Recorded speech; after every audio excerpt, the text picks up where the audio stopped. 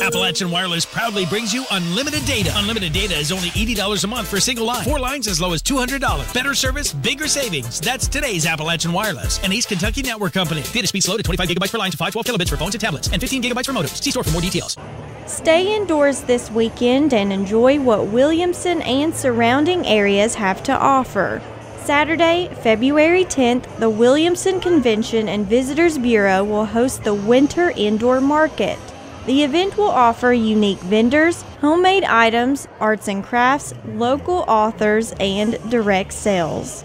The winter market's going to be very similar to our night market series that everyone enjoyed during the spring and summer months, but you know, in the winter we're all stuck inside in the cold and you have nothing to do, so we thought, hey, why not shop? That's the perfect thing to do when it's cold outside. We already have over 20 vendors signed up, local music set to play, so it's going to be a great time too to pick up those last minute Valentine's Day gifts.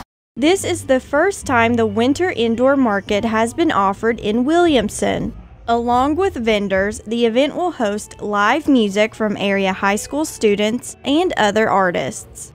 We always like to be able to involve our local high school students, show off their talents, whether it be through artwork or their musical abilities. And then the market is a great time for our craftsmen, our artisans here in the area to come and bring their work.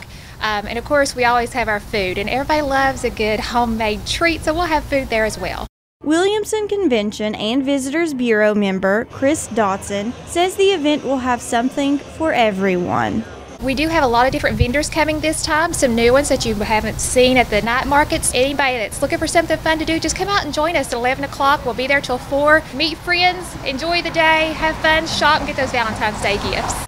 The Winter Indoor Market is Saturday from 11 to 4 at the Williamson Fieldhouse. For more information, follow the event on Facebook or use the number listed on your screen.